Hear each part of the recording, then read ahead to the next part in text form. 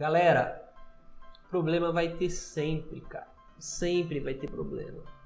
Você vai ter problema com cálculo agora, depois você pode ser você tenha problema com física, depois pode ser que você tenha problema com eletromagnetismo, depois pode ser que você não goste de desenho técnico e vá mal em desenho técnico. Pode ser que você tenha uma matéria lá de, de economia que não tenha 10% do cálculos que você tem e você não se identifica com a matéria, não se identifica com o professor, Problema sempre vai ter, cara. DP é só uma DP. DP é só uma pequena barreira que se levantou no meio do seu caminho. É lógico, todo mundo quer se formar no tempo certinho. Todo mundo quer aprender tudo que o professor está ensinando ali certinho. Não, tudo isso vai ficar na minha cabeça, eu vou gravar pro resto da minha vida. Não, não é assim. Não é, não é. E digo mais, não só não é assim, como isso não significa nada. Nada você pegar uma DP, você reprovar, não significa nada. Eu tenho um conhecido, depois se vocês quiserem, vocês podem entrar aí no canal dele. Ele deve estar tá aí, eu acredito que ele está chegando em um milhão de inscritos, uns 500, deve estar tá pelo menos por uns 500 mil, ele deve estar. Tá. Faz tempo que eu não falo com ele, não entro no canal dele. O canal dele se chama Space Today. Ele fala de astronomia. Ele é apaixonado por astronomia. Como eu sou apaixonado pela área de exatas, cálculo, física, geometria analítica, ele é apaixonado por astronomia. E ele trabalha com prospecção de petróleo. Sabe? Ele vai, ele descobre onde tem petróleo. Ele trabalha numa empresa disso aí. Então a empresa dele vai lá num lugar, ah, é, é será que tem petróleo aqui? Vamos, ele estuda o solo. Esse cara, ele reprovou a matéria, eu não lembro o nome, que é relacionado, tudo relacionado ao que ele faz hoje ele reprovou essa matéria, se eu não me engano, quatro vezes. E hoje ele é a maior referência nesse assunto no Brasil. É o Sérgio Sacani o nome dele. Ele é a maior referência no assunto que ele reprovou quatro vezes. Quatro vezes ele reprovou. Não tem ninguém que mais entende desse assunto do que ele no Brasil. E ele fala: a reprovação é só uma reprovação. Aí de duas, uma. Ou você tem Vou usar até uma palavra meio chula aqui. Ou você tem culhão, fala: esse negócio é para mim, eu vou aprender isso, eu não tenho nada de diferente desse cara e eu vou aprender essa jossa. Ou você vai desistir no meio do caminho porque por uma bobagem, na verdade. É uma bobagem. É uma, é uma imensa bobagem, imensa bobagem. Gente, eu reprovei em cálculo 2. Eu reprovei. Sabe o que eu posso dizer para vocês? Foi a melhor coisa que aconteceu na minha vida. Ah, e digo mais, eu reprovei no exame eram quatro questões e eu tinha que acertar três. O exame final. Quatro questões, tinha que acertar três.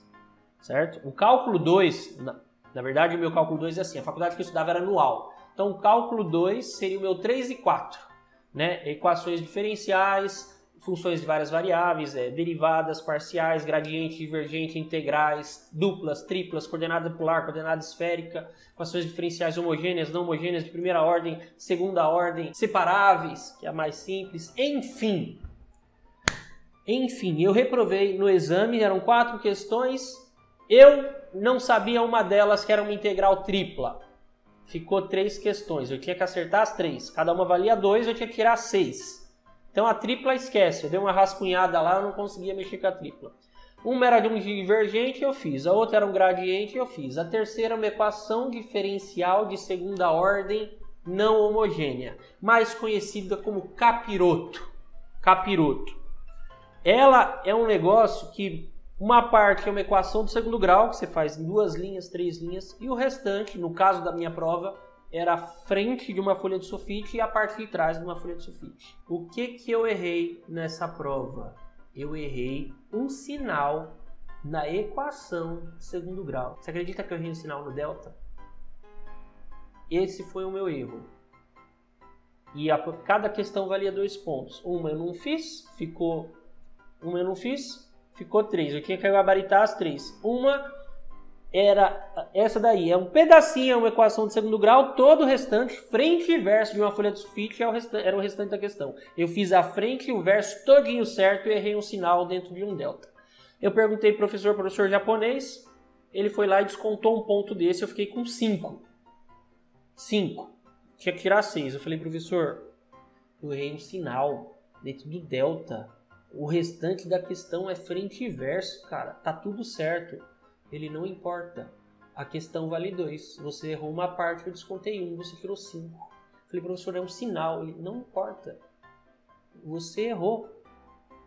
Eu não dou nota, é você que tira a nota. E você não tirou a nota, você não alcançou a nota. Não teve conversa com o japonês. Resumo da ópera, não teve conversa. Agora, para mim, foi a melhor coisa do mundo, porque depois eu aprendi de verdade e hoje estou aqui ensinando as pessoas. Se eu não tivesse passado por isso, não teria aprendido direito. A segunda vez, para mim, foi muito mais fácil que a primeira, mas extremamente mais fácil que a primeira. Não tinha como comparar a, a facilidade que foi a segunda vez para mim. Então, não, não, tem nada a ver, cara. Não, não, tira isso da cabeça de vocês, tá? Para com essa para, paranoia de que peguei DP, eu tenho que parar. Ai, professor, isso não entra na... Para, cara! Que não entra na sua cabeça. Não entra. Não entra porque seu professor é ruim. É por isso que na cabeça de qualquer um entra matemática. Qualquer um.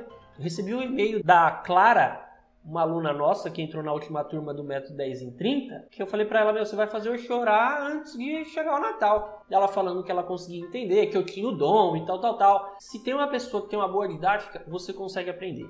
Aí é uma questão de você dedicar um tempo, poder estudar, se dedicar e ir até o final.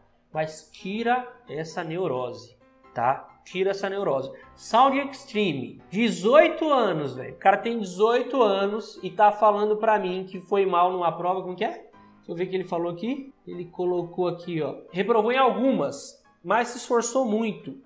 Tem dias que dá vontade de desistir. Normal, gente. Tem dia que dá, dá desânimo. Isso é natural. Isso é no trabalho, isso é na faculdade. Pô, tem dia que eu, eu levanto quatro e pouco, cinco horas, cinco horas da manhã para ir trabalhar na indústria. Às vezes você fala, puta, meu, hoje eu não queria ir para lá, hoje eu tô cansado, sabe? Puta, eu queria dormir um pouco mais. Hoje não tô legal. É natural. É natural. Tem dia que você estuda pra cacete e não entra na tua cabeça. Mas passa, passa. Se eu me formei, você também vai se formar. Se eu aprendi, você também consegue aprender. Sound Extreme tem 18 anos, velho. Você falar que vai desistir, mano. Se fosse seu pai, você já levava uma surra, pai. Desistir do quê? Você começou a vida agora, cara. Você não, você não enfrentou nada do que a vida, dos obstáculos que a vida vai levantar para você, velho. Vai ter obstáculo pra caramba na tua vida, cara.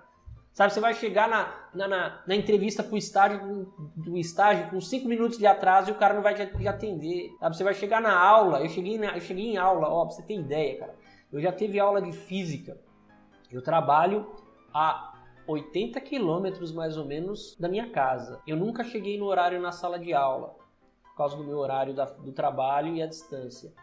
Eu lembro até hoje uma aula de física que eu cheguei na faculdade depois pegar ônibus, metrô, trem e outro ônibus, subi todos os degraus a pé, cheguei lá no sétimo andar para ter a aula, suado, e quando eu fiz uma pergunta ao professor, ele falou assim: pergunta para os seus colegas que estavam aqui na hora que a aula começou. Então, meu, aquilo ali já é um desmotivador que você fala: porra, cara, você não sabe o sacrifício que eu fiz para estar tá aqui, cara. Você não tem noção de que horas que eu saí lá do meu trabalho para chegar aqui esse horário. Você não tem noção do, do metrô lotado, do trem lotado, dos ônibus lotados que eu peguei, dessa, como eu subi essa escada correndo para chegar o quanto antes para essa aula.